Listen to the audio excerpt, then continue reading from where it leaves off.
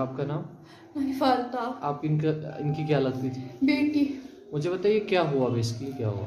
Basically ये हुआ कि मतलब वो सुबह दुकान निकले थे तो अब हम शाम के मतलब वो छः बजे तक तो वो आ ही जाते हैं। तो हाँ उनका वेट कर रहे थे हमें लगा कोई नहीं कुछ आया होगा दुकान पे तो इसलिए उनका ले उनको लेट हो गया। बट जब लेट हो गया, बहुत सात तक बज गए, हम बहुत घबरा गए। हमने उनको कॉल किया, हमने उनको बहुत कॉल किए उन्हें नहीं उठाया। उसके साथ मेरा कज़न होता है, वो उन्हीं के साथ जॉब करते हैं तो उसको हमने कॉल किया उन्हें भी नहीं उठाया। तो फिर हमारा दूसरा एक कज़न है, वो उधरी पे, एक बिल्डिंग में, उधर पे वो नौकरी करता है। हमने उसको कॉल किया उन्हें भी नहीं उठाया। तो हम बहुत घबरा गए। हमने फिर अपने चाचू को कॉल किया। चाचू से जब हमने बात की, उसने कहा, वहाँ पर एनकाउंटर है। हमें उसी टाइम मैंने बहुत रोया उस टाइम पे। मुझे I don't know why but मैंने बहुत रोया। उसके बाद जब हमने बहुत कॉल किए तो हमने बहुत लोगों से मतलब जानने की कोशिश की, कहाँ है, कैसे, लेकिन हमें किसी ने नहीं बोला। हमें सारे कुछ अलग अलग बोल रहे थे। तो इसके बाद क्या हुआ, दस बजे की अराउंड मेरे चाचू को कॉल आया और उसने रोना स्टार्ट कर दिया।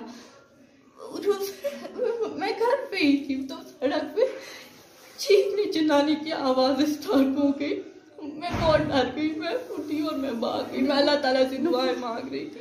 वो बोलो, बोलो। अल्लाह ताला से दुआएँ मांग रही थी। वो बोला फाइक भाई ने जो बोला कि वहाँ पे उसको कितनी बार बाहर दिया अंदर। मेरी कज़न ने बोला उसको तीन बार ऊपर चढ़ाया। ऑलरेडी उधर था जो कज़न उधर पे था जो गवाही दे रहा था जो ने देखा अपनी आँखों से तीन बार उसको ऊपर चढ़ाया तीन बार तीन और बार छोड़ा? दो बार छोड़ा तीसरी तीसरी बार मार दिया। ये क्या होता है वो कहाँ से आप और जो वहाँ गवाह थे वो कहाँ से उनको भी मिले मार और जो वहाँ गवाह थे उनको भी मार दिया ये क्या मतलब होता है? और जब मैं उनको बोल रही हूँ कि अंकल आ- आपने ये क्या किया? आपको कैसे लगा मेरा बाप ये है?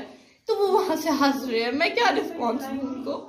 वो हंस रहे थे वहाँ से वो वो बहुत बेशर्मी से हंस रहे थे। मैं उनको क्या जवाब देती वहाँ पर?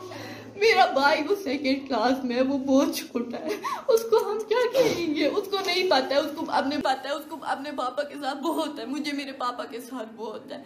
अब मैं क्या करूँगी? मैं अपनी माँ को कैसे संभालूँगी? वो खड़ा नहीं उठ पा रही है, वो इतना रो रही है।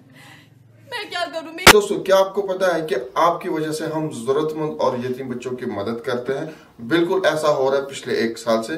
और अगर आप जानना चाहते हैं कि ये कैसे हो रहा है तो ऊपर आई बटन पर क्लिक कीजिए और जानिए कि हम लोग आपकी वजह से कैसे जरूरतमंद और यतीम बच्चों की मदद करते हैं।